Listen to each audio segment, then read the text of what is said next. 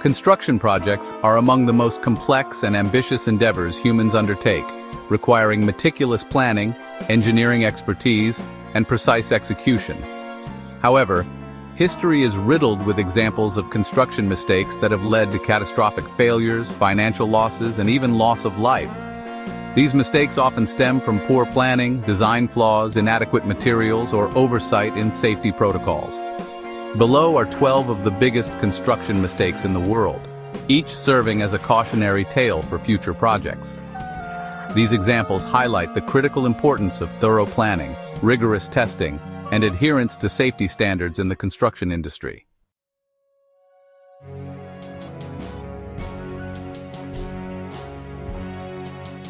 The Leaning Tower of Pisa, one of the world's most famous landmarks, was initially designed to stand tall and straight, but it quickly became apparent that the structure was tilting.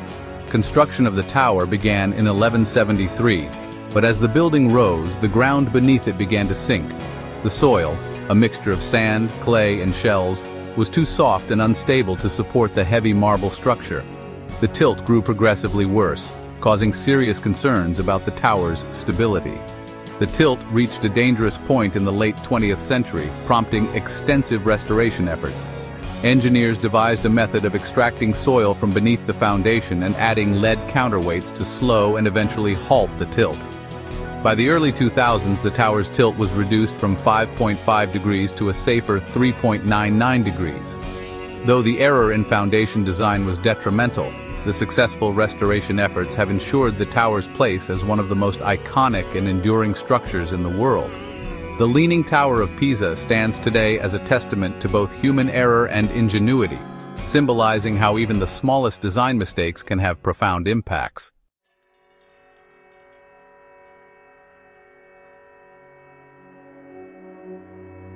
The collapse of the Tacoma Narrows Bridge in 1940 is one of the most famous engineering failures in history, largely because it was caught on film. The bridge, which spanned the Tacoma Narrows Strait in Washington state, was completed in 1940 with a sleek, slender design that was highly susceptible to wind forces. Despite its design seeming to be cutting edge at the time, engineers did not account for the bridge's tendency to sway under certain wind conditions.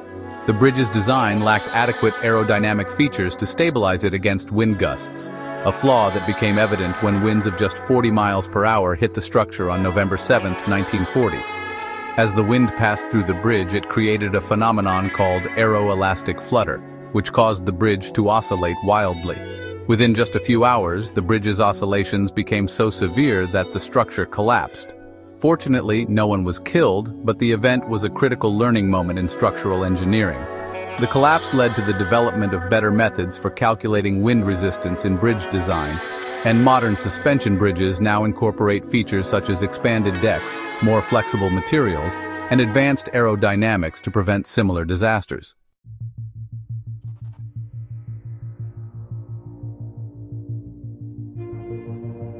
While the Hubble Space Telescope is one of the most successful space missions in history, its early mission was hindered by a critical flaw in its construction. The problem stemmed from the telescope's primary mirror, which was ground incorrectly, the mirror had been manufactured with a slight curvature that was off by just 2.2 microns. A micron is one millionth of a meter, a minute difference that nonetheless caused the telescope to produce blurry images. When the Hubble telescope was launched in 1990 and sent images back to Earth, scientists were dismayed to find that they were not as sharp as expected. It was quickly determined that the mirror was flawed, and the images lacked clarity, preventing the telescope from achieving its full potential. Fortunately, a team of astronauts in 1993 conducted a mission to fix the problem, installing a set of corrective lenses known as the COSTAR system. This mission successfully restored Hubble's ability to capture sharp images. And since then, the telescope has provided some of the most spectacular views of distant galaxies, nebulae, and stars. While the initial mistake was costly, Hubble has contributed enormously to our understanding of the universe.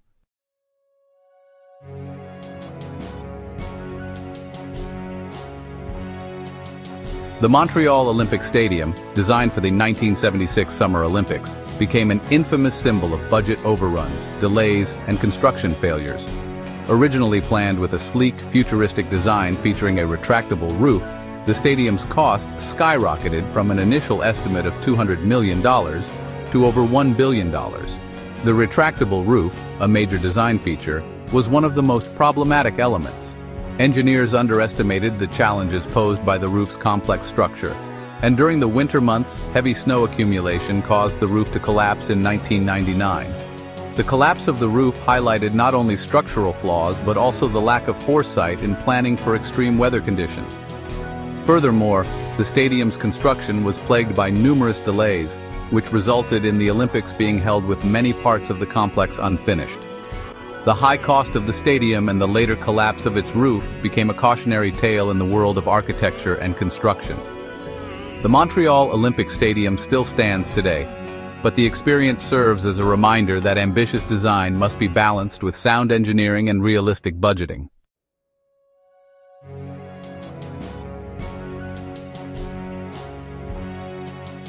The 1986 Chernobyl disaster remains one of the worst nuclear accidents in history. While human error played a significant role in the meltdown, the plant's design flaws and poor construction decisions contributed to the scale of the disaster. The Chernobyl nuclear power plant used the RBMK reactor, a design that had critical weaknesses, including an unstable reactor core and a lack of effective containment systems. When a safety test was conducted under dangerous conditions, operators mistakenly disabled key safety systems. A sudden increase in reactor power caused a violent explosion that led to a catastrophic release of radiation. The lack of a proper containment structure meant that radioactive materials spread across vast regions of Europe.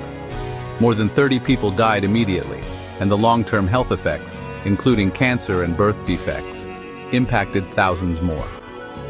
The Chernobyl disaster exposed the inherent risks of nuclear power when poorly designed reactors and inadequate safety protocols are in place.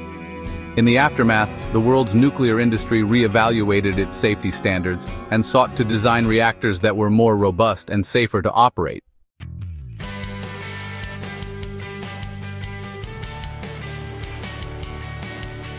The Fukushima Daiichi nuclear power plant, located in Japan, faced a disaster in 2011 that was exacerbated by both natural and human-made errors.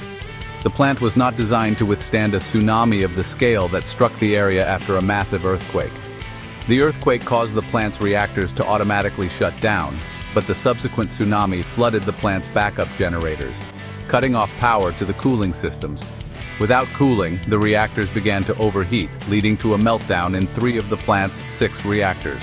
Although the plant's design was intended to withstand earthquakes, it was not built with sufficient safeguards against the tsunami. The Fukushima disaster resulted in widespread contamination, and the Japanese government had to evacuate tens of thousands of people from the area. The failure highlighted the need for more robust disaster planning in the design of nuclear power plants, particularly in regions prone to earthquakes and tsunamis. It also sparked an international debate about the future of nuclear energy, with some countries opting to shut down their nuclear plants as a result of the disaster.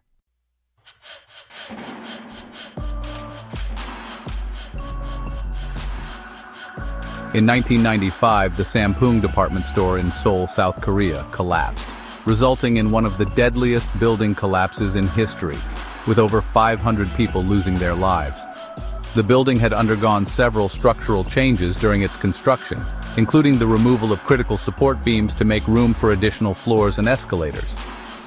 These modifications, which were done without proper consultation with structural engineers, weakened the building's frame. Additionally, the store's owner chose to ignore warnings from engineers who pointed out that the building's support system was inadequate, the building's collapse was a result of these structural flaws, compounded by poor materials and insufficient building inspections. In the aftermath, South Korea enacted stricter building codes and improved inspection practices, and the Sampoong disaster remains a poignant example of the dangers of cutting corners in construction, particularly in commercial buildings.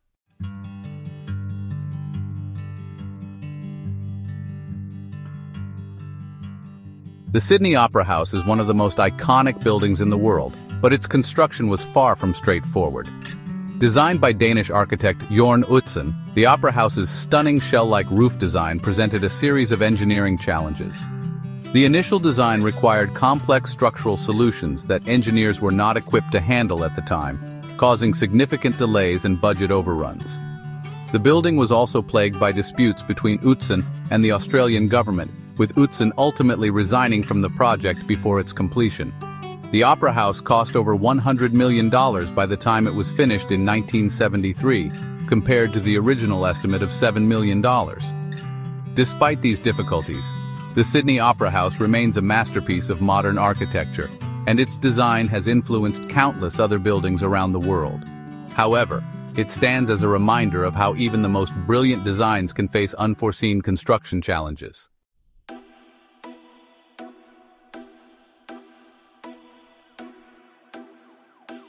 The John Hancock Tower in Boston, completed in 1976, was a bold and modern skyscraper that faced significant issues shortly after its construction. The building's glass facade was designed with large panels that were susceptible to wind forces. Over time, the panels began to detach from the building's frame, creating a dangerous situation for those below. The issue was due to an engineering oversight in the original design, which failed to account for the wind forces acting on the glass panels. To solve the problem, the building underwent a costly renovation to replace the glass and reinforce the facade. Additionally, the tower's design had other flaws, including a need for structural reinforcements. Despite these setbacks, the John Hancock Tower is still one of Boston's most prominent buildings, but it serves as an example of how even the most innovative designs can fall victim to engineering miscalculations.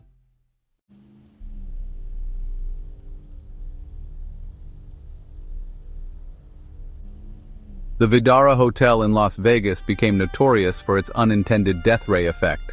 The hotel's sleek, curved glass facade, designed to reflect sunlight, caused a phenomenon where sunlight was concentrated into a powerful beam. This intense heat beam melted plastic surfaces and damaged cars parked nearby, even causing minor burns to people walking on the streets. The reflective effect also damaged nearby pools and sunbathing areas, creating an uncomfortable and unsafe environment for guests. The building's architects had not foreseen this problem, and the phenomenon was later dubbed the Vdara death ray. After the issue was identified, the hotel added coatings to the glass and took steps to redirect the sunlight to prevent further damage. The Vdara Hotel disaster serves as a cautionary tale of how design aesthetics must consider all potential environmental effects, especially in urban settings with complex reflections.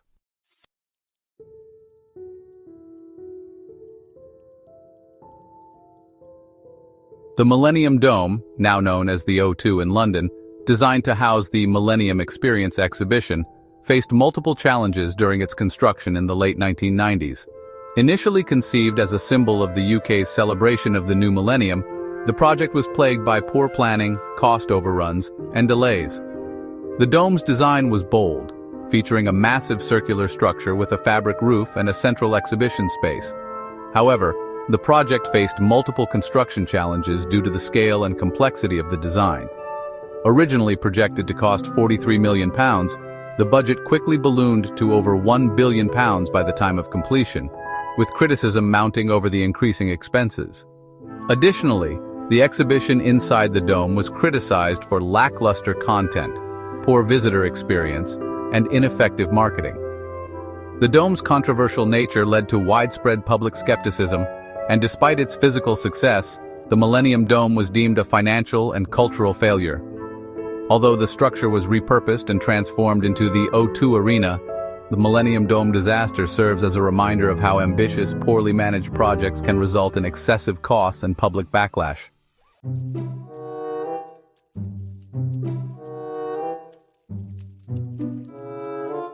The Vesuvius submarine, a part of the Italian Navy, is one of the most infamous examples of engineering failures in military construction. The submarine was built in the 1970s with innovative features, but it had serious design flaws. One of the primary issues was its structural integrity and lack of proper ballast management. During its trials, the submarine began to experience significant issues with its buoyancy and stability, making it nearly impossible to dive or resurface properly. The ship's design also suffered from inadequate materials and construction techniques that did not account for the stresses of submarine operations, causing it to become prone to leaks and malfunctions.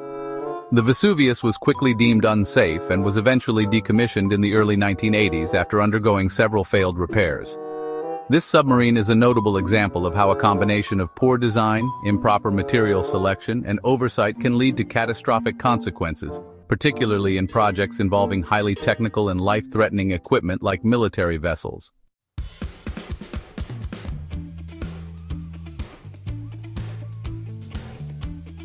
These 12 construction mistakes serve as powerful lessons in the importance of thorough planning, rigorous engineering, and adherence to safety standards. They remind us that even the most ambitious projects can fail without proper attention to detail and accountability. Each disaster has contributed to advancements in construction practices, ensuring that future projects are safer and more resilient. By learning from these mistakes, the construction industry can continue to innovate while prioritizing safety and sustainability.